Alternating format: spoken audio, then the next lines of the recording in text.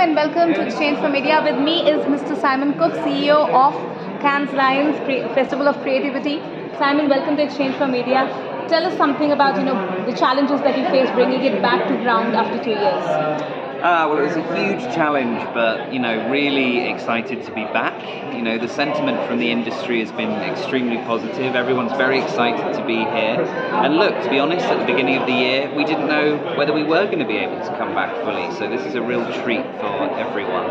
And like other businesses, it's been challenging over the past two years, but the industry has been so supportive throughout. So it's a joy to be together again after such a long time. So, you know, uh, coming from India, I want to talk to you about uh, the entries that have come from India this year. Uh, so far, it's just day two, and uh, India has got already 30 plus shortlists. This is India's one of the best performances so far. What do you have to say about that? Uh, I think it's hopefully going to be the start of a renaissance of work coming back into Cannes and winning well in Cannes. You know, they've been a big winner in the past, and it's honestly a joy to see people from India stepping up onto that stage for winning great world class work. Thank you so much, Simon. Thanks Pleasure. a lot.